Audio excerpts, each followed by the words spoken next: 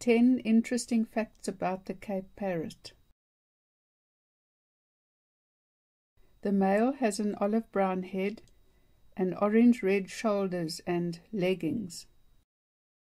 The female has an orange red forehead and orange red shoulders and leggings. The juvenile has an orange red forehead. The male loses this red forehead at about 8 to 10 months, and the juveniles have no orange red shoulders or leggings. They are rare localized endemics to South Africa. There are less than 1,800 that exist today. These parrots are endangered and their numbers are decreasing.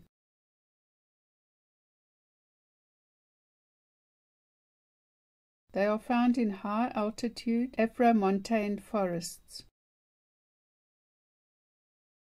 They are found from Adelaide in the western Amatola Mountains of the Eastern Cape to Karkloof in KwaZulu-Natal. And there is a small relic population near Wolkberg in the Limpopo province. These Cape parrots eat mainly yellow wood fruit kernels, indigenous fruits, and pecan nut and black wattle seeds. This is the fruit of the wild plum tree, or the umgwenya, eaten by parrots in King Williamstown. You can see how the parrot has neatly removed the kernel from inside the fruit with its very sharp top beak. These Cape parrots are monogamous solitary nesters high in natural tree cavities.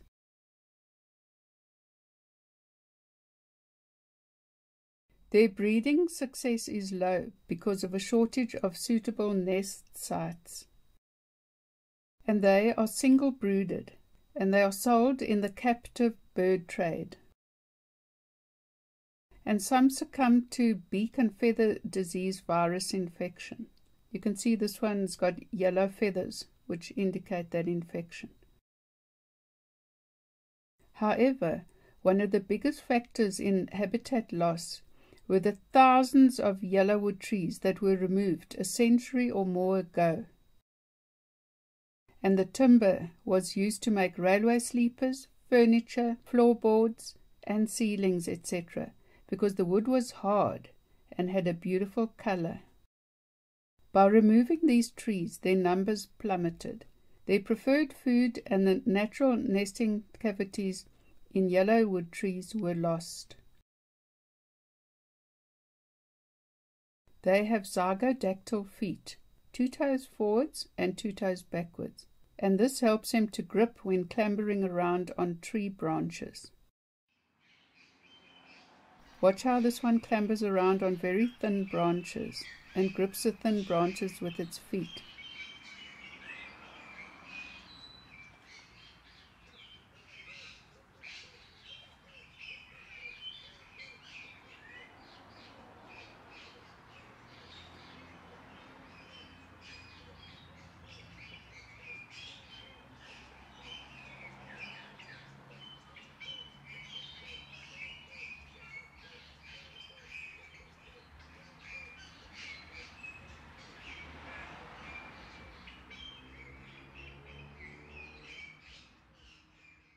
This toe arrangement also helps him to grip their food while feeding. This parrot is gripping the thin branch with one foot and the food with the other foot. This one is tightly gripping the wild plum fruit while tearing it open with a very sharp hooked top bill.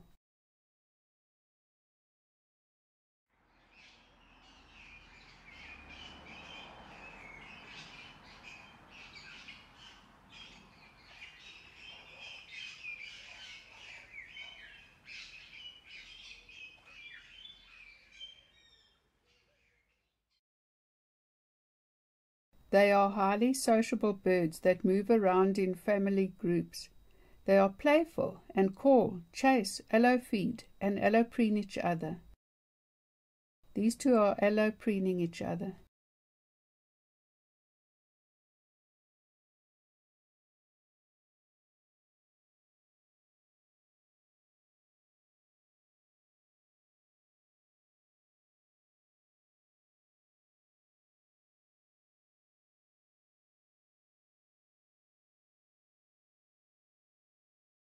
Their loud and raucous call.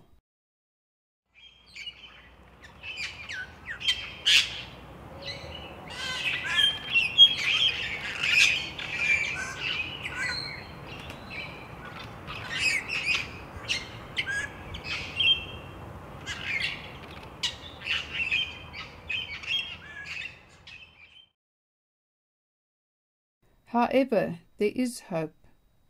The Cape Parrot Project at Hogsback is working very hard with the local community to save these special parrots from extinction. The local community are involved in growing the yellowwood trees in nurseries and then planting out the young trees in the forests when they are large enough. So this is a win-win situation where the local community earns some money by growing these trees, and the parrots will benefit in the long run by having their yellowwood trees back in their forests. Also, the local community is learning the importance of conserving these special parrots, and they will teach the next generations the importance of conserving them. Please do not keep birds in cages or in captivity. Birds belong out in nature where they can fly free, as they have done for thousands of years.